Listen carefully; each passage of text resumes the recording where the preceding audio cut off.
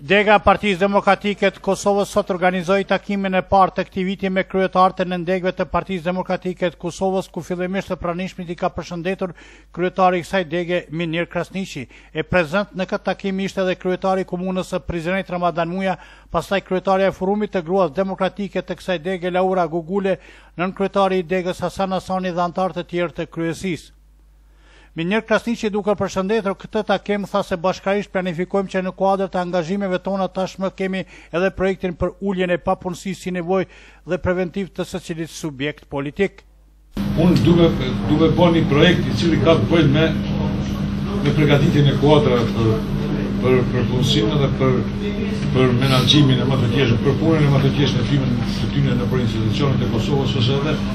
në punën private,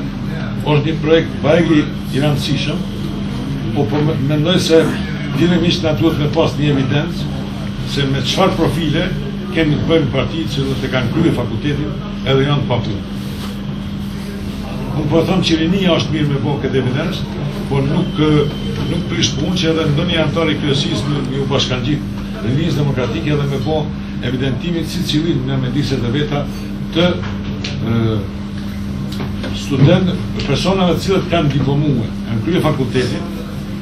do të thonë me një CV të shkurt, shkruan profilin cilin fakultet e ka kryer, me çfarë suksesi e ka kryer. Përderisa lidhur me takimin e sotëm, Kujtim Gashi ka potencuar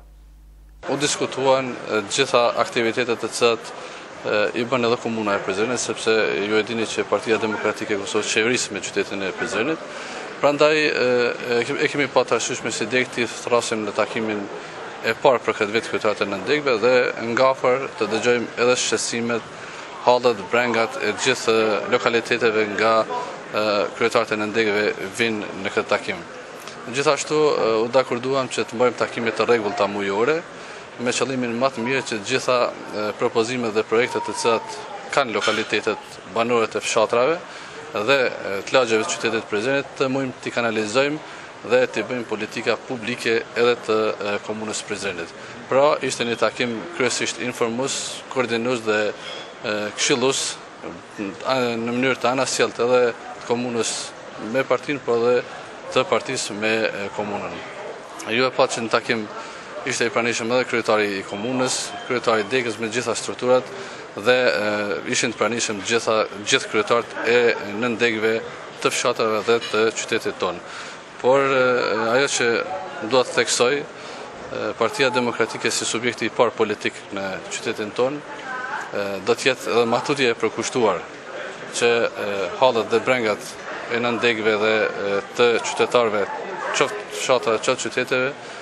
t'i inkorporojë në projektet kapitale të cilat do t'i zhvillon dhe do t'i implementon komuna e Prizrenit për vitin 2015,